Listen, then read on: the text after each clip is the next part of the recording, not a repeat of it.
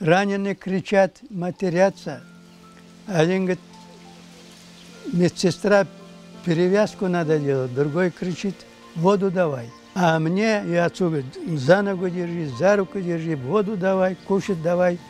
Вот так мы работали с отцом на этом лазарете.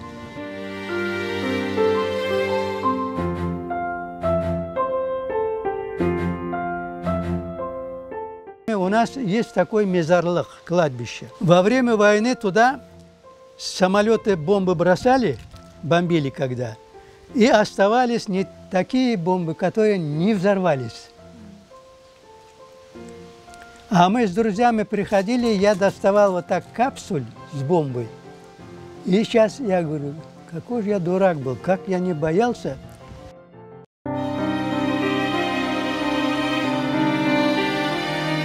Вокруг нашего дома, когда бомбили, э, по углам дома две бомбы упали.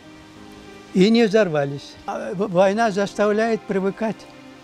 Там по, по, по мертвым бегаешь.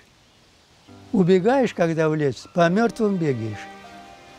Привыкаешь.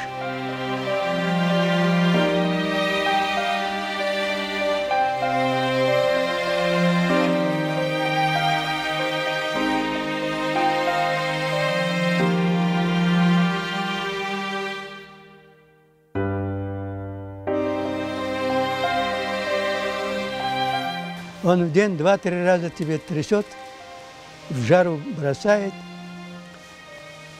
Вода вся мутная. Что пьем? Вот достанем, в ведрах стоит, отстоит, кипятим, пьем. У меня мама отсюда, когда выезжала, была беременная, 8 месяцев уже. Сюда приехали, она родила в Узбекистане. Эта девчоночка заболела, похоронили – там еще одного зятя похоронили.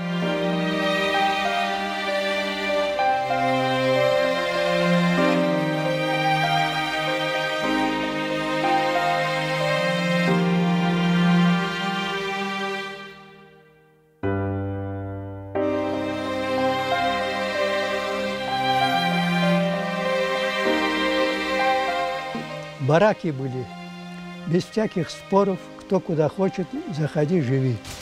И нам приходилось в одну комнату по пять семей заходить.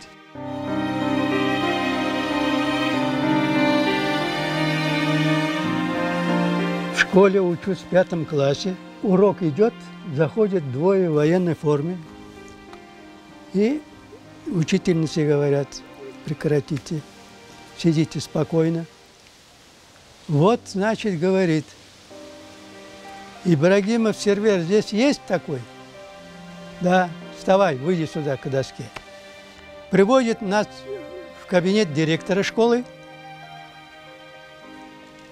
и меня берет за уши, за воротник, как дернет предатель. Иди сюда.